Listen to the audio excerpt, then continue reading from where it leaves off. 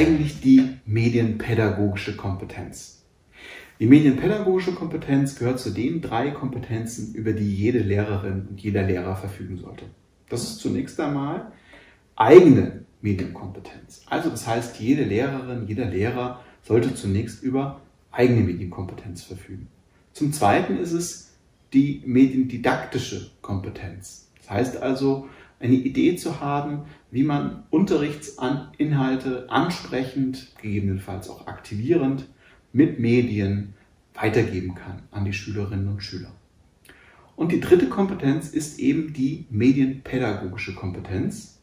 Und die ist auch ganz einfach beschrieben, ganz kurz beschrieben, äh, die Kompetenz, die Lehrerinnen und Lehrer benötigen, um die Medienkompetenz ihrer Schülerinnen und Schüler zu fördern.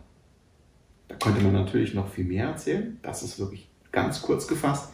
Wer ein bisschen mehr zur medienpädagogischen Kompetenz erfahren möchte, kann dieses Buch sich anschauen von Sigrid Blömecke. Da hat sie die medienpädagogische Kompetenz umfänglich beschrieben.